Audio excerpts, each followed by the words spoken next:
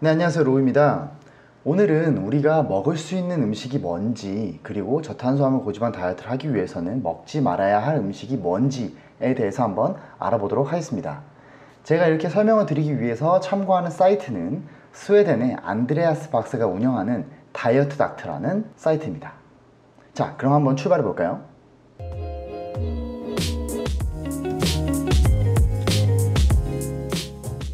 먼저 우리가 성공적인 키토제닉 다이어트를 위해서 케토시스를 도달하기 위해서는 순 탄수화물을 20g 미만으로 먹는 것이 좋습니다.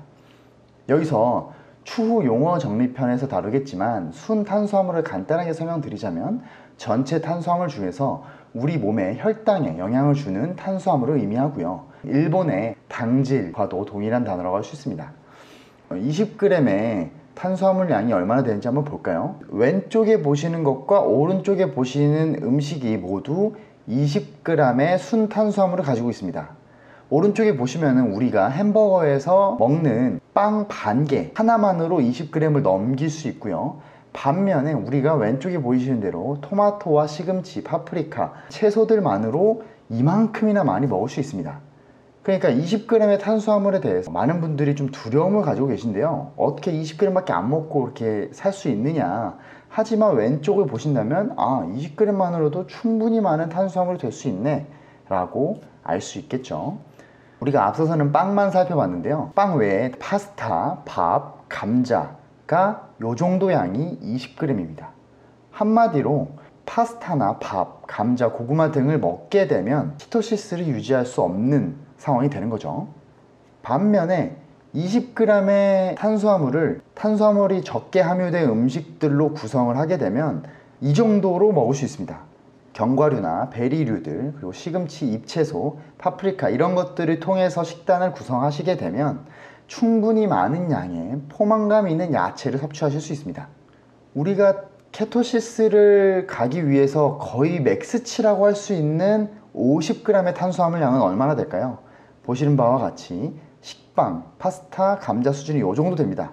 한마디로 한 끼로 이런 일반식처럼 파스타나 빵을 먹게 되면 저탄수화물 고지방 다이어트가 중단된다. 이렇게 보시면 될 것 같아요. 하지만 50g에 대한 탄수화물을 다른 음식으로 섭취하게 되면 이 정도나 먹을 수 있습니다. 어마어마한 양이죠. 그래서 우리는 잎채소와 여러 가지 탄수화물이 적게 들어가 있는 음식들로 우리의 식단을 풍요롭게 채울 수 있습니다.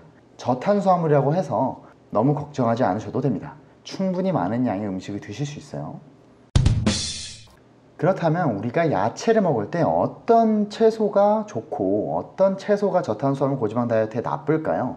그걸 한번 살펴보도록 하겠습니다. 보시게 되면 above ground 이 말은 땅 위에서 나는 채소들을 의미합니다. 아래 그림을 보시면 시금치, 아보카도, 올리브, 토마토, 그리고 뭐 파프리카, 케일, 뭐 컬리플라워 이런 종류의 야채들은 대부분 땅 위에서 나는 채소들이고요. 이 채소들은 탄수화물의 함량이 굉장히 적습니다. 이 야채들은 또한 식이섬유도 풍부하게 함유하고 있기 때문에 고기와 다른 지방 종류와 함께 충분히 드셔주시는 것이 좋습니다. 반면에 땅 밑에서 자라는 야채들은 대체로 탄수화물의 함량이 높습니다. 당근, 양파, 비트 뿌리, 루트바가, 감자와 고구마 등이 있겠죠. 이런 것들은 조금만 먹어도 우리의 혈당에 크게 영향을 줄 수 있기 때문에 저탄수화물 고지방 다이어트에서는 자제하셔야 됩니다. 하지만 완전히 먹지 말라는 것은 아니고요. 요리를 위해서 소량 정도 사용하시는 것은 괜찮습니다. 감자나 고구마는 보시는 바와 같이 탄수화물의 함량이 아주 높기 때문에 아주 조금만 사용해 주셔야겠죠. 여기 다이어트 닥터에서 추천하는 top10 저탄수화물 야채는 아래와 같습니다. 컬리플라워, 양배추, 아보카도, 브로콜리, 주키니, 시금치, 아스파라거스, 케일, 완두콩, 그리고 방울양배추입니다. 우리가 흔히 렌틸콩이라든지 퀴노아라든지 되게 슈퍼푸드라고 일컬어지고 있는 콩 종류는 저탄수화물 고지방 다이어트에서는 추천하지 않습니다. 이러한 종류는 탄수화물을 꽤나 많이 함유하고 있기 때문인데요. 아무리 비타민이나 미네랄이 풍부하다고 하더라도 우리의 혈당에 많은 영향을 미치게 되면 케토시스로 가는 저탄수화물 고지방 다이어트 방해를 받을 수 있으니 조금은 자제해 주시는 것이 좋습니다. 그리고 우리가 정말로 조금 피해줘야 할 음식들은 보시는 바와 같이 곡물류 그리고 순수한 설탕이 사용된 그런 음식들입니다. 초콜릿, 쿠키, 파스타, 빵, 쌀 어, 이런 음식들은 최대한 멀리 해주시는 게 저탄수화물 고지방 다이어트에서는 좋습니다. 자, 그러면 우리가 먹을 수 있는 과일들은 무엇이 있을까요? 저탄수화물 고지방 다이어트를 하게 되면 기본적으로 과일을 멀리 하라고 의미를 합니다. 왜냐하면 과일에는 많은 과당이 함유되어 있고 과당은 인슐린 저항성을 유발하고 지방간이 생성되는 것을 촉진하기 때문에 이런 것들을 최소화해서 먹어주라고 얘기를 하는데요. 우리가 여태까지 즐겨 먹었던 과일을 손에서 놓기는 쉽지 않죠. 우리가 먹을 수 있는 과일이 무엇이 있을지 한번 살펴보도록 하겠습니다. 다행히도 사진에서 보시는 바와 같은 과일들은 소량 섭취할 수 있습니다. 라즈베리나 블랙베리가 탄수화물량이 가장 적은 것으로 알려져 있고요. 딸기도 꽤나 탄수화물량이 되게 적습니다. 기타, 레몬이나 자두, 멜론, 코코넛 등은 소량 섭취해줘도 좋습니다. 그리고 이 중간에 있는 과일들은 100g당 요 정도 함량이라는 뜻이니까 본인이 탄수화물을 많이 먹지 않은 날에 대해서는 요 정도는 섭취해줘도 되겠구나라고 감을 잡으시면 될 것 같아요. 하지만 포도당이 많이 함유되어 있는 포도나 바나나 같이 혈당을 급격하게 올리는 과일은 최대한 자제하시는 것이 좋습니다. 탄수화물이 가장 적게 함유되어 있는 과일 top 10을 보도록 하겠습니다. 라즈베리, 블랙베리, 딸기, 블루베리, 자두, 클레멘타인, 키위, 체리, 칸탈루프 멜론, 그리고 복숭아가 있겠습니다. 하지만 소량만 드시는 것을 추천드립니다.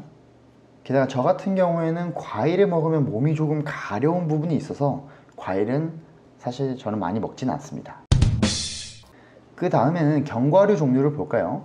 견과류는 탄수화물의 함량보다 지방의 함량이 높고 그리고 지방 중에서도 불포화 지방산을 많이 함유하고 있다는 측면에서 섭취가 권장되는 음식이기는 합니다. 하지만 이건 역시 탄수화물을 함유하고 있는 부분이 있기 때문에 주의해서 먹어줘야 되는데요. 아래 한번 그림을 통해서 살펴보도록 하겠습니다. 보시는 바와 같이 피칸이나 마카다미아, 브라질 너트가 탄수화물이 가장 적은 편이고요. 헤이즐넛이나 아몬드, 호두 이런 것들은 약간의 탄수화물을 함유하고 있는 편입니다. 캐슈넛이나 피스타치오 같은 경우에는 탄수화물이 많이 함유되어 있어서 드시더라도 아주 소량만 드셔주셔야 되고요. 여기 피칸이나 마카다미아, 브라질 너트에는 셀레늄이나 이런 부분이 함유되어 있는데 이 영양소가 과량 복용했을 때에는 부작용이 나타날 수 있으니 소량만 드시는 것이 좋습니다. 아몬드 가루를 활용해서 여러 가지 키토 베이킹을 하기도 하죠. 어떤 지방 종류를 먹어야 우리가 탄수화물을 적게 섭취하고 지방을 많이 섭취할 수 있을까요? 자, 이 가이드를 한번 보도록 하시죠.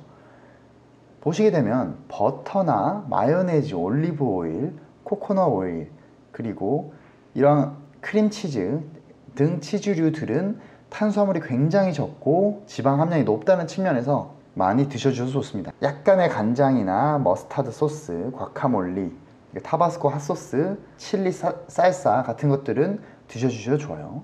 하지만 오른쪽에 보시는 바대로 케찹이나 메이플 시럽, 그리고 BBQ 소스, 그리고 잼 종류는 탄수화물을 엄청 많이 함유하고 있기 때문에 웬만하면 음식점에서도 이러한 것들이 묻어져 있는 음식들은 피해 주시는 것이 좋습니다.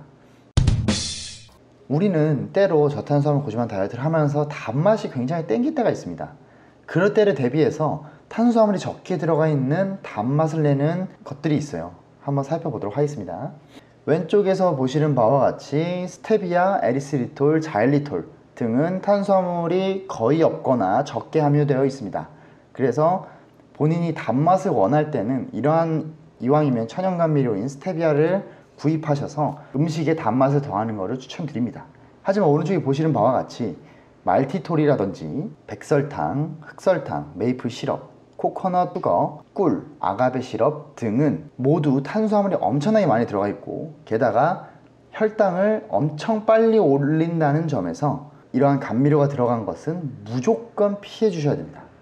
이거는 조금만 먹어도 이미 저탄수화물 고지방 다이어트의 기준을 넘어가 버려요. 감미료들과 관련된 글을 제가 본문에 링크를 해 드릴 테니까요. 더 궁금하신 분들은 아래 링크를 통해서 들어가서 살펴보시기를 바라겠습니다. 우리가 먹을 수 있는 음료수는 무엇이 있을까요? 물 당연히 되고요. 차, 커피, 탄산수 됩니다. 아, 당연히 거기에는 탄수화물이 없기 때문에 드셔도 좋고요. 다이어트 콜라나 제로 콜라 저한테 물어보시는 분들이 많이 있었는데 저탄수화물 고지방이라고 하는 기준에서는 먹어도 되는데 하지만 합성 첨가물들이 많이 들어가 있다는 점에서 이런 음식도 끊어주시는 게 건강에 더 좋다. 왜냐하면 이런 저탄수화물 고지방 다이어트가 건강한 삶을 위해서 하는 다이어트이기 때문에 굳이 못 참겠다 라고 하시면 드셔도 저탄수화물 고지방 다이어트를 벗어나는 것은 아닙니다. 저희는 유당 때문에 우유를 잘 먹지 않습니다. 오렌지 주스나 청량음료, 에너지 드링크 이런 것들은 웬만하면 저탄수화물 고지방 다이어트에서는 안 드시는 것이 맞습니다. 자, 많은 분들이 궁금해 하셨던 술 파트입니다. 제가 여러분들께 권장하는 바는 몸이 회복하실 때까지 술은 최대한 자제해 주시는데 저탄수화물 고지방 다이어트 기준에 맞는 술이 무엇이 있는지 한번 살펴보도록 하겠습니다. 자, 보시는 바대로 샴페인류가 가장 탄수화물이 적고요. 와인 종류가 탄수화물이 적게 함유되어 있어서 좀 먹어도 된다. 맥주는 이 맥주 자체가 액체로 만든 빵이라고 할 수 있을 만큼 엄청난 탄수화물을 가지고 있기 때문에 드시지 않는 것을 권장드립니다. 그래서 각각의 음료에 얼마나 많은 탄수화물이 들어가 있는지를 한번 볼까요?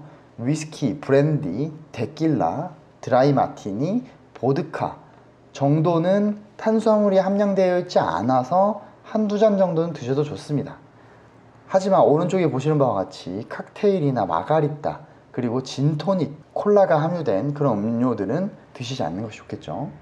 가끔씩 어떤 분들이 light라고 되어 있는 것을 먹어도 되는지를 물어보시더라고요. 탄수, 저탄수화물 고지방 다이어트 기준에서는 드셔도 좋기는 합니다. 왜냐면 타, 자기 본인의 탄수화물량을 조절해 가면서 드시는 분들이라면 요 정도 탄수화물은 드셔도 될 것 같은데 저는 간에 많이 부담이 되기 때문에 맥주 종류는 드시지 않는 것을 더 권장드립니다. 하지만 굳이 드시겠다면 light 혹은 low carb이라고 되어 있는 맥주 위주로 드셔주세요. 하지만 건강한 삶을 위한 이러한 저탄수화물 고지방 다이어트에서는 술은 웬만하면 줄여주시는 것이 좋다는 거 더 강조하지 않겠습니다. 우리가 지방을 채우기 위해서는 뭘 먹어야 될까요? 자, 당연히 고기입니다. 고기에서 소고기, 돼지고기, 양고기 모두 상관없고요. 닭고기도 상관이 없습니다. 하지만 부위별로 지방이 많이 함유되어 있는 소의 등심이나 돼지의 삼겹살, 양의 갈비 있는 부위 위주로 드시면 되고요. 생선이나 해산물, 지방을 많이 함유하고 있기 때문에 드시는 것이 좋고요. 특히나 연어나 등푸른 생선들은 아주 몸에 좋습니다. 달걀류는 언제나 많이 드셔도 좋습니다. 버터나 코코넛 오일, MCT 오일 등을 통해서 부족한 지방을 충분히 채워주실 수 있도록 하고요. 크림이나 사워크림, 요거트나 치즈 같은 유제품을 통해서 또 우리의 식탁을 더욱 풍성하게 할 수 있습니다. 어떠신가요? 조금 여러분들께서 가지고 있었던 음식물에 대한 궁금증이 이걸로 조금 풀리셨으면 좋겠습니다. 더 궁금하신 점은 아래 댓글을 달아주시고 영상이 끝나기 전에 구독과 좋아요를 한 번씩 눌러주신다면 정말 감사드리겠습니다. 지금까지 시청해주셔서 감사합니다.